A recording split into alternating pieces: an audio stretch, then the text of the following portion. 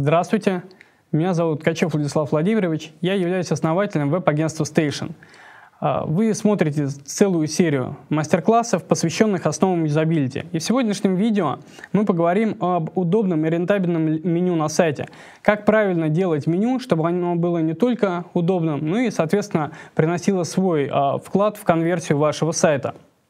А, горизонтальное меню и технические страницы. Но вначале стоит а, а, рассказать о технических страницах на сайте. Это те самые страницы, к которым человек э, может обратиться в любой момент путешествия по вашему сайту.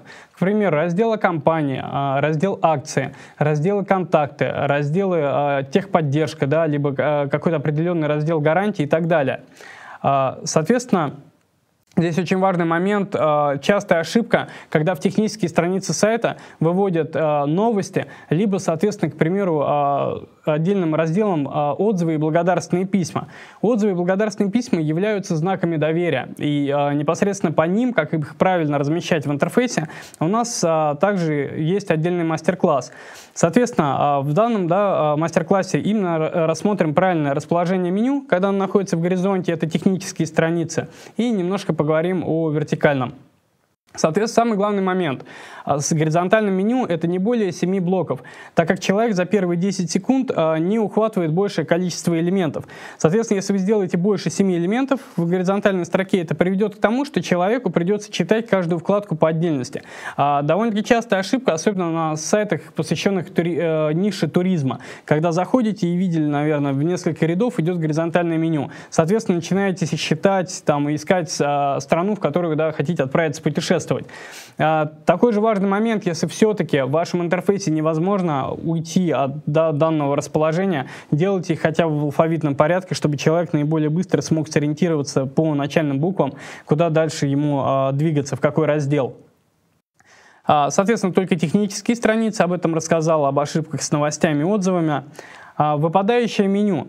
Когда же, соответственно, его стоит использовать и когда нет. Но здесь очень важный момент э, понимания того, где проходит непосредственно линия сгиба вашей страницы, то есть скроллинга, того, когда человеку придется прокручивать мышкой, чтобы увидеть нижнюю часть.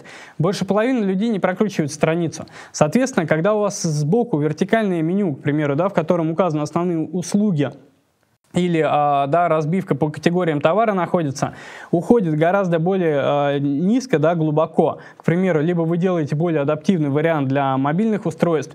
А, копирование такого, соответственно, раздела, как услуги, либо товары в технических страницах позволит в выпадающем меню обыгрывать абсолютно весь вертикальную, соответственно, навигацию в пределах первого экрана.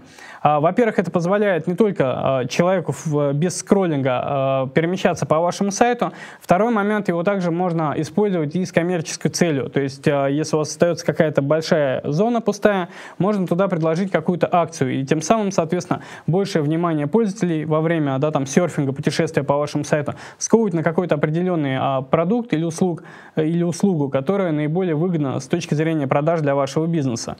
Один из э, еще важных элементов – это поиск. Э, поиск э, несет в себе на самом деле очень золо, э, золотой запас не только для конверсии, но и для развития сайта. О нем также есть целый отдельный мастер-класс, посвященный именно данному элементу интерфейса. Ну, соответственно, а, вот примеры такого выпадающего меню на сайте Озон. Как вы видите, соответственно, да, а, разбивка идет а, электроника и так далее. И как вы видите, с правой части сразу показывают, соответственно, какие-то товары дня. И при всем при этом идет также разбивка по брендам. Плюс тому, то, что сразу можно переместиться в брендовую зону, и также, соответственно, они получают дополнительный обогрев от этих логотипов с точки зрения маркетинга. Вертикальное меню.